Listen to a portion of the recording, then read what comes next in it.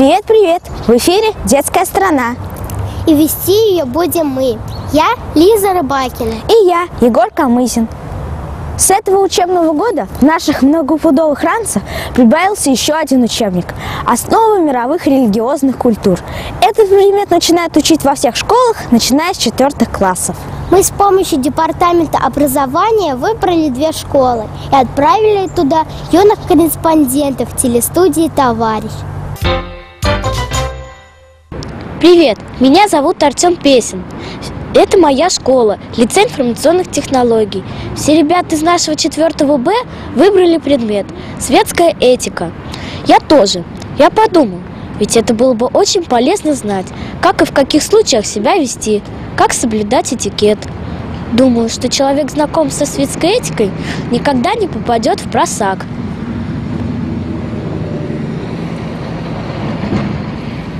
Но сейчас по заданию редакции я отправляюсь на урок православной культуры к своим ровесникам в школу номер 54. Привет, как тебя зовут? Артем. Очень приятно, меня тоже так зовут. Артем, скажи, почему ты выбрал предмет «Основы религиозных культур»? Я его выбрал, потому что я хочу узнать побольше о Боге и о нашей религии. А как ты сам думаешь, есть Бог? Да. А почему ты так решил? Потому что на свете есть много чудес, которых не, нельзя описать. Ксюша, почему ты выбрал предмет основы религиозных культур? Ну, я хотела побольше узнать о вере, о том, как раньше люди жили, о, жили о гонении крестьян, о жития святых. Как тебя зовут? Алёш. А почему ты выбрал именно этот предмет? Я выбрал основу религиозной культуры, потому что они, этот урок очень интересный, и мне очень интересно узнать о Боге. Как ты сам думаешь, есть Бог? Конечно, есть. А почему ты так решил? Потому что Он сотворил много чудес. А у тебя в семье есть верующие? Конечно, и мама, папа, все остальные. А ты знаешь какие-нибудь молитвы? Можешь прочитать одну из них? Я много молитв знаю. Отче наш, Царю Небесный, Богородиц.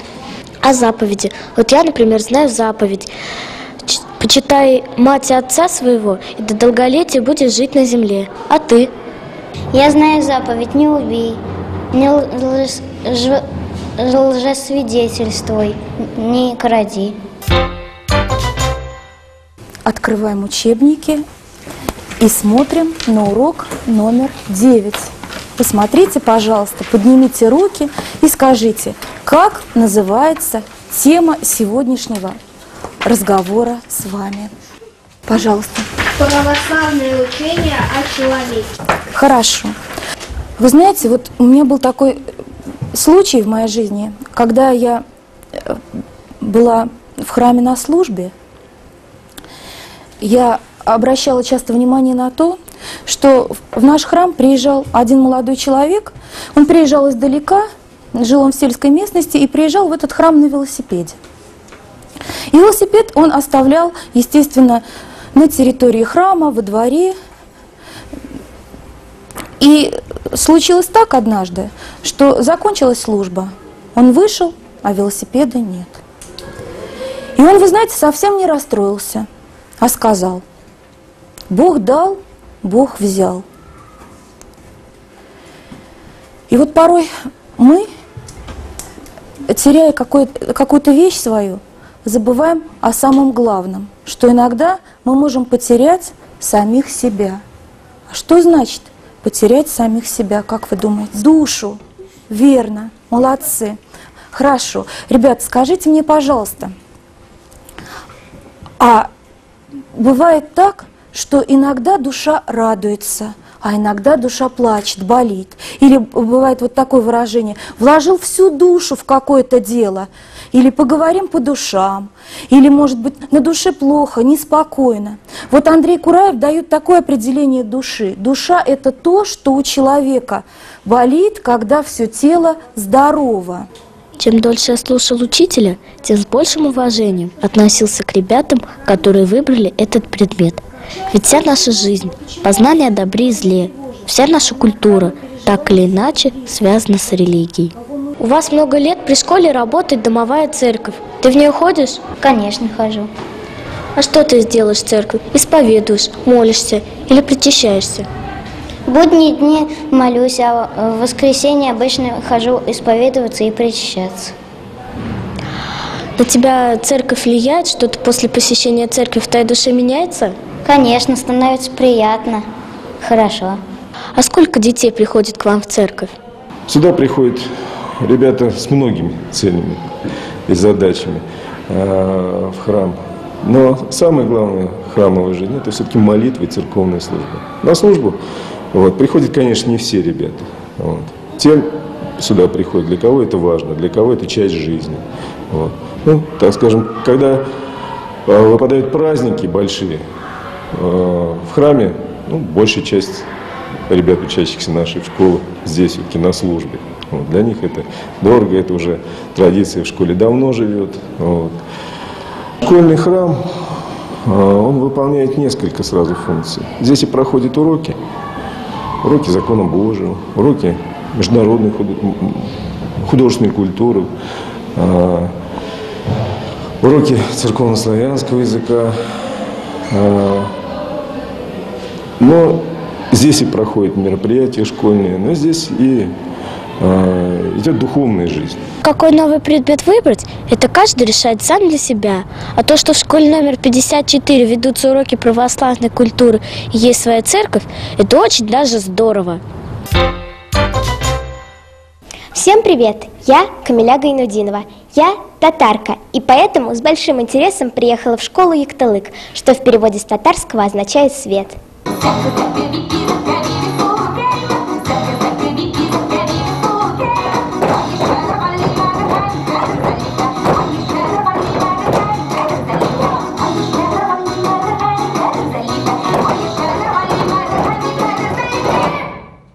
Танцуете только татарские танцы? Да. А где, кроме Самары, вы выступали?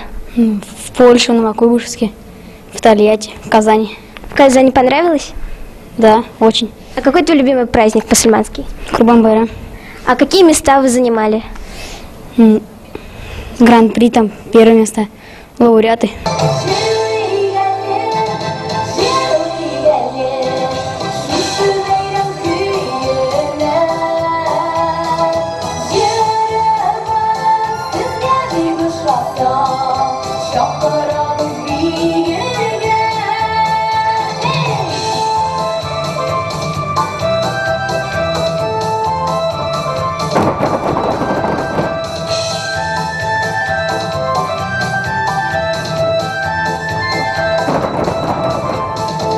О чем пелось в этой песне? А Это веселая песня, а, то есть,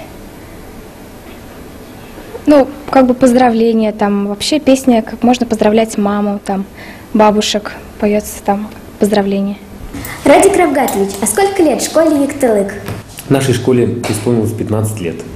Мы в этом году справляли юбилей нашей школы. А дети каких национальностей учатся в вашей школе? Дети учатся, естественно, э, в основном татары, так как наша школа с углубленным изучением татарского языка и культуры, а также учатся э, киргизы, башкиры, узбеки, казахи, другие национальности. Русских очень много.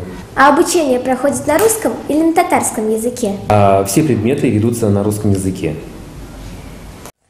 В каждой школе есть своя пружинка, свой стержень. А какой стержень в школе Яктылык? Как я уже сказал, наша школа с углубленным изучением татарского языка и культуры. Поэтому, конечно же, как вы говорите, это пружинка, наверное, татарский язык и культура. Из новых предметов все выбрали ислам? Этот предмет э, э, изучается в этом году, начал изучаться в четвертых классах. И э, так как наши дети э, в подавляющем большинство, можно сказать, все э, этнические мусульмане, поэтому их родители э, выбрали э, именно этот курс. А можно пройти в кабинет, где преподают ислам? Конечно. Я вас приглашаю в нашу школу. Добро пожаловать. Спасибо. Тебя зовут? Тимур, Тимур, а как ты думаешь, чему учит ислам? Добру и дружелюбию. А, в как- а какие праздники в твоей семье празднуются? Навруз, Курбан Байрам и Сабантуй. Как тебя зовут? Зарема. Зарема, а какие в твоей семье празднуются праздники?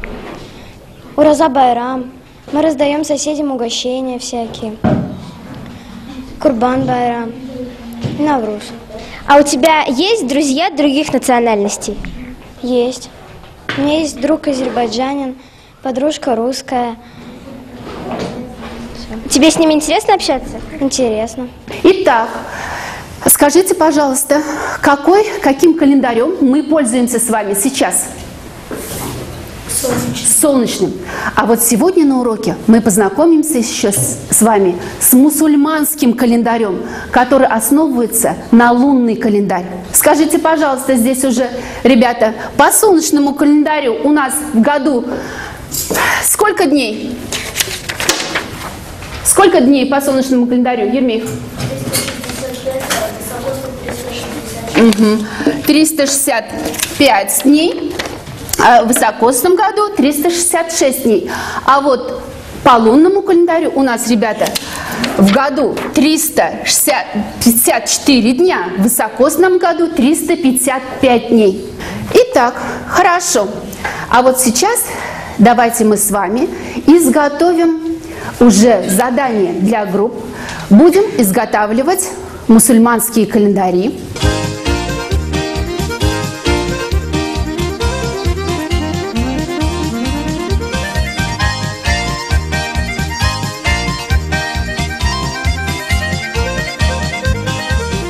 Я сейчас сидела на уроке и думала, что все религии учат добру и любви. Так давайте дружить, учиться, и на земле всегда будет мир. Всем привет! Это снова я, Камиля Гайнудинова. Так случилось, что когда я приехала в Юктылык, здесь открылся новый стадион. Вы только посмотрите, какое чудное покрытие подарили ребятам. Несмотря на снег, с каким воодушевлением они гоняют мяч.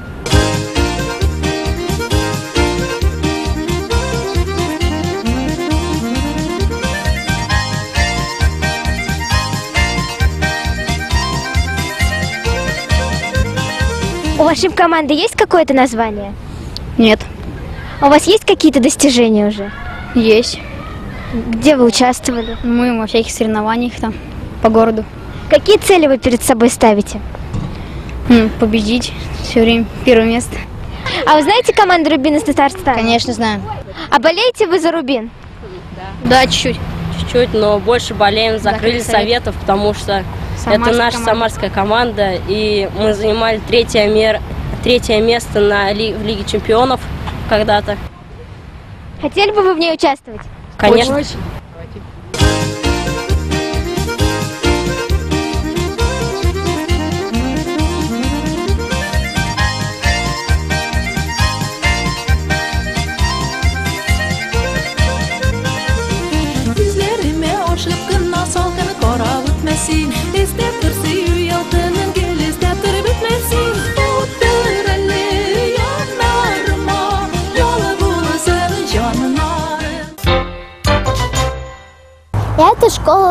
41.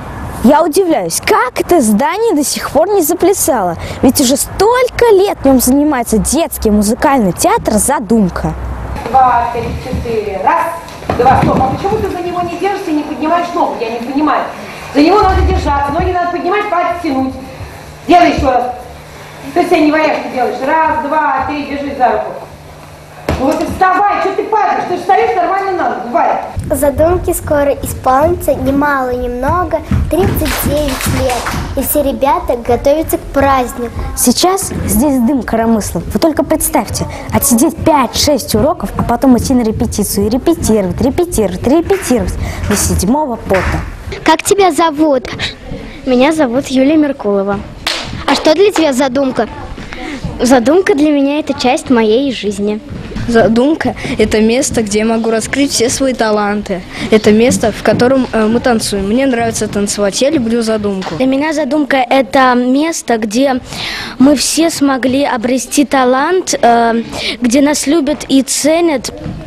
Мы, Мы пытаемся открыть э, свои чувства в танце. Ду- м, думаю, для всех нас задумка очень главная часть в жизни.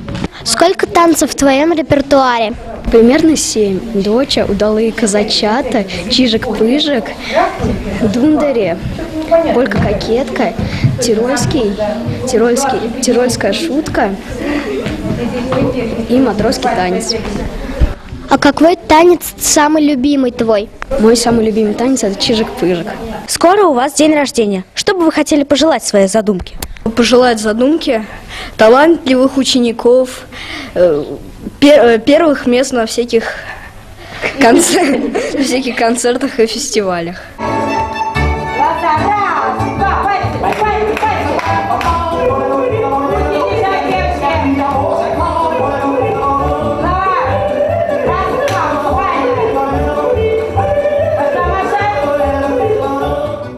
Елена Геннадьевна, расскажите, как все начиналось? Сколько ребят было сначала, сколько сейчас? Начиналось все далеко-далеко, давным-давно, в 1973 году. Я тогда еще была маленькой девочкой, училась в школе. Все начиналось в 82-й школе города Куйбышева. Тогда у нас было только 12 детей. 10 девочек и 2 мальчика. А сейчас у нас их огромное количество. Не знаю, даже не считала. Ну, 500 с чем-то. От 4 до 18 лет. Мальчики, девочки. Все веселые, все дружные. Все очень любят петь и танцевать. За 40 лет в каких городах, в каких странах успела побывать задумка? Легче сказать, в каких городах и странах задумка не была. В Европе мы не были только в Португалии, поэтому хотим исправить этот недостаток и в сентябре поехать туда на конкурс. Были в Америке, были в Канаде, были в Турции, были в Египте, были в Тунисе, были в Китае, были на Таиланде. А какая поездка вам запомнилась больше всего? Ну, а из всех поездок, наверное, больше всего запомнилась поездка на остров Тайвань. У нас был там замечательный фестиваль. Мы были там целых два месяца. Познакомились э, с удивительными коллективами. За два месяца подружились. Мы были единственные представители нашей страны. Я знаю, что на всевозможных конкурсах и фестивалях вы получали самые высокие награды. Медали, первые места, гран-при. А какая награда была для вас самая дорогая? Забывают, какое место коллектив занял. Но вот как ты выступил, как ты станцевал, какое яркое впечатление ты произвел, этого не забывают никогда. А самая дорогая победа, самая дорогая награда – это гран-при на э, славянск- славянском базаре в Витебске. Все, наверное, знают этот форум искусств. И там был конкурс детских шоу-программ. Была ну, очень трудная борьба. Были очень сильные коллективы. И вот э, тогда наши дети ну, на удивление собрались, как-то с таким эмоциональным накалом выступили, что сумели занять гран-при.